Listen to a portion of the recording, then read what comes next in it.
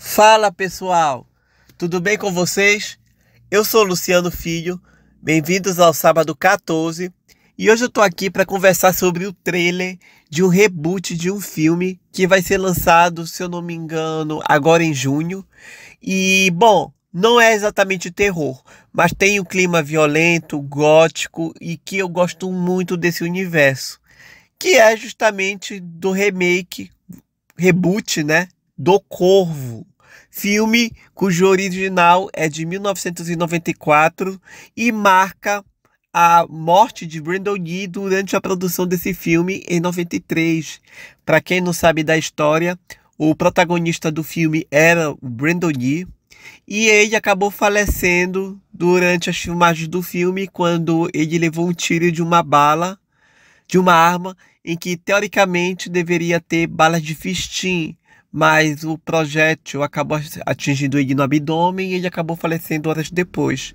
Então, o Corvo de 1994 é um marco na história pelo por ser o último filme do Brandon Lee, por ser um filme que trouxe toda uma ideia de controles de armas, né, que serão usadas em filmes e tudo mais, coisa que não foi levado muito bem a sério, porque recentemente tivemos aquele caso é, com o ator famoso, é, se eu não me engano é o Alec Baldwin, alguma coisa assim, vou botar aí a foto dele para vocês, que ele acabou atirando e matando uma produtora de um filme, do filme Rush, acidentalmente com uma arma com balas de verdade também.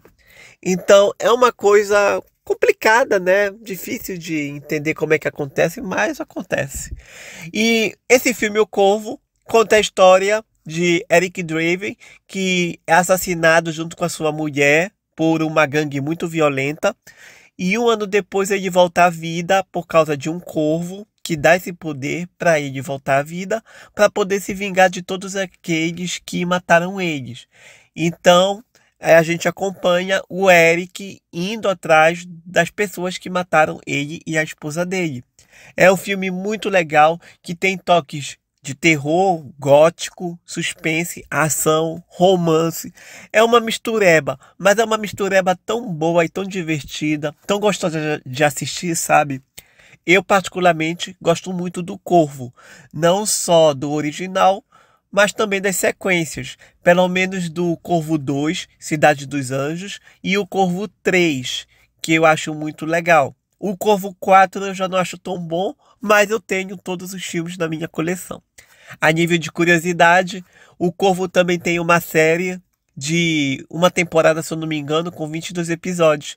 Eu não vi essa série, mas pelo pouco que eu já pesquisei sobre ela, é basicamente a história do filme original dividida em 22 capítulos. Falta assistir porque não tive tempo, mas o pessoal fala muito bem dela, a crítica fala muito bem dela. Então, vai ser lançado esse ano o reboot desse filme, trazendo aí o It, a coisa, como personagem principal, o famoso Bill Skarsgård, né? Então, tá polêmico. Por quê? Porque quem viu o Corvo original percebe que ele tem uma fisionomia, tem uma aparência bem peculiar. É a cara pintada de branco, os traços pretos nos olhos e na boca. É, e a roupa de metaleiro, porque o Eric Draven, que é o Corvo, ele era fazia parte de uma banda de heavy metal.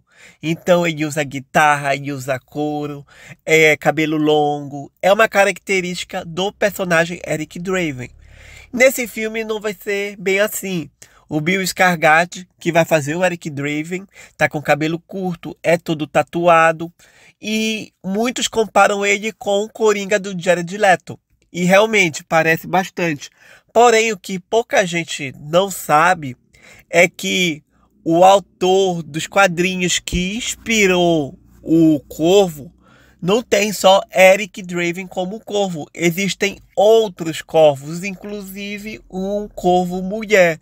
Então, talvez o corvo do Eric Draven de Bill Skarsgård seja inspirado em outro e não exatamente no Eric Draven. OK, pode ter sido até um erro colocar o personagem Eric já que podia colocar o outro personagem que realmente tem uma aparência física mais similar. Só que aquela coisa é Hollywood e talvez o papel do o personagem Eric Draven tenha mais é, imponência e destaque pelo, pela história do Brandon Lee do que o outro mais similar. Então, é uma coisa que a gente tem que refletir. E justamente pelo trailer não mostrar muito da questão gótica, do, metal, do heavy metal e tudo mais, é, ele tem sido alvo de muitas críticas. Inclusive, o diretor do Corvo original criticou esse, esse filme, né, a produção desse filme, porque ele acredita que o filme O Corvo, de 94, é o legado de, de Brandon Lee. Não deve ter outro filme deve ser um respeito, uma homenagem à memória de Brandon Lee que morreu fazendo aquele filme. Mas é aquela coisa, gente, é Hollywood e vendo o potencial de ter uma franquia em mãos, vão fazer. Não existe isso de respeito, de legado, de, da forma que ele quer. Né? Então é muito complicado pensar dessa forma quando o assunto é Hollywood. Então, é, esse filme, esse trailer, melhor dizendo, recebeu mais dislikes do que likes e muita gente está reclamando pela aparência do, do Eric Draven, que não é nem um pouco parecida com o filme de 94. Estão reclamando que não tem a aparência gótica e também não tem algumas questões no trailer, claro, tudo isso no trailer, ele não tem algumas questões relacionadas à ide ideia do Eric como um cantor de uma banda de heavy metal, essas coisas. Então, bom, vamos esperar para ver o filme. Eu gostei do trailer, devo admitir que achei ele muito bom. Tem momentos ali muito pesados, né? Tem é visceral, é, tem cenas de mortes brutais durante o trailer.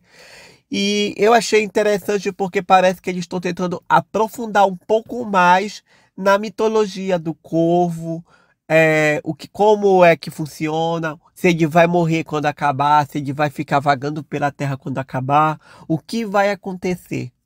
Então, isso é um ponto interessante e eu fiquei curioso para assistir o filme e ver no que vai dar. Eu não estou indo ver o filme no cinema é, esperando compara é, fazendo comparações. Não quero fazer comparações com 94. Cada um vai ter sua identidade, até por causa da época em que estão sendo feitos. Esse corvo está sendo feito 30 anos depois do de 94. Então, muita água passou por baixo dessa ponte. Mas é isso, galera. Vamos aguardar para ver as novidades aí do Corvo desse ano de Bill Skarsgård. Eu estou muito ansioso. Realmente gostei do filme porque parece que ele tem um aprofundamento na mitologia do corvo, no relacionamento do Bill com a esposa dele, no que acontece depois que ele morre, como ele volta, o que vai acontecer depois que acabar, se acabar.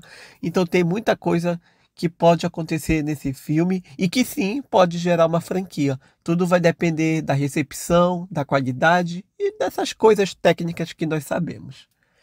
Então é isso, galera.